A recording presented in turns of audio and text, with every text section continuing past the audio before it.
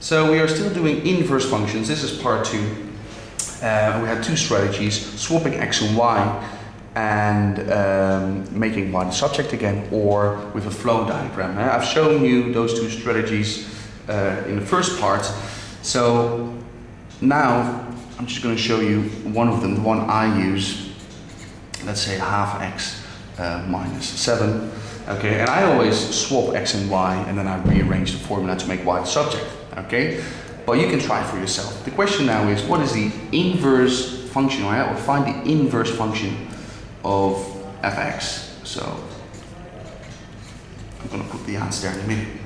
Now, how do I approach this question? Rather than fx, I'm going to say y again equals a half x minus 7.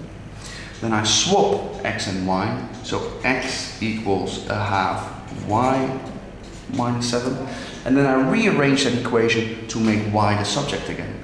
So x plus 7 equals a half y. Yeah? So the minus 7 is a plus 7. Yeah? Plus 7 here to get rid of it. So plus 7 on the left side of the equal sign for it to be equal. And to get rid of a half, yeah, because you want to know what 1y equals to, not so much half y, yeah, you can divide both sides by the coefficient, yeah, so divide both sides by a half, which is the same as timesing both sides by 2, because a half times 2 then also is 1.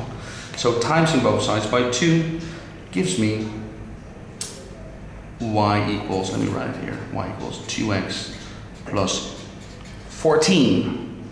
Okay, 2x plus 14, the whole left side times 2. So the inverse function of a half x minus 7 is 2x plus 14. Okay, now if you uh, have used a flow diagram to find this answer, uh, yeah, you get the same thing because that's the beauty of maths. Eh? This is the answer. Okay, now let's go to the next part for uh, another example and I'm going to add something to it. So see there.